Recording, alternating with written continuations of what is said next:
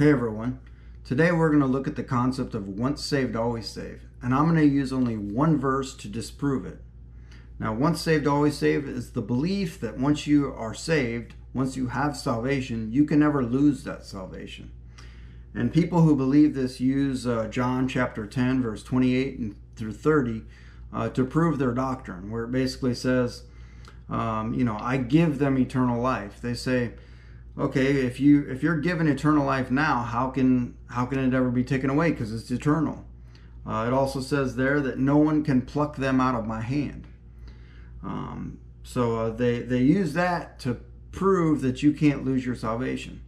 But uh, you know, today I'm just going to show through one verse. I have many verses that I could bring up now, uh, but I'm going to just use one verse in order to show that that's not true. Um, we're going to go to John chapter 15, verse 5 and 6. Jesus says, I am the vine, you are the branches. He who abides in me, and I in him, bears much fruit. For without me you can do nothing. If anyone does not abide in me, he is cast out as a branch and is withered. And they gather them and throw them into the fire, and they are burned. So, like I said, this is Jesus here uh, teaching a particular concept. Um, you know, Jesus' teachings carry a lot of weight. I want to take note to where it says in verse 6 there, if anyone does not abide in me, he is cast out as a branch. Now, that word abide, which is uh, meno in the Greek, it basically means to stay or to remain. Another thing is that that word there in the Greek is actually in the present perfect tense. Uh, the present perfect tense means that it uh, it's happening and it goes on. It continues to happen. So the King James actually translates this word as abideth. They put the th on the end of there uh, to denote the the present perfect uh, tense of it, the fact that it's ongoing. Uh, it's true now and it's continuing to go on. So uh, we need to continue to remain in Jesus, is what this is saying.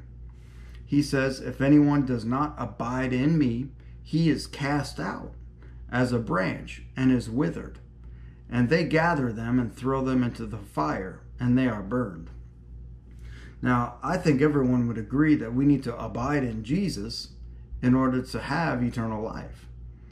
Um, and this is saying here that if anyone does not abide, um, that they're cast out and withered. They're not going to be in Christ anymore uh, like a branch to a vine is. Um, and the end is to be burned. That doesn't sound like a lot of fun. In addition to that, I don't think that Jesus would be warning people about something that couldn't happen. When clearly here, the reason why he gives the warning is so that someone can take heed uh, and uh, change their ways. You know, not uh, not want to leave Christ, not want to depart from Christ.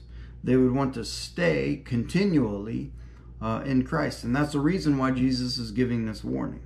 So, the moral of the story is that uh, we need to stay in Jesus. We don't want to go back to sin. We want to uh, obey Jesus and uh, keep his commandments, keep Jesus' commandments. So, I uh, hope this video helps. God bless.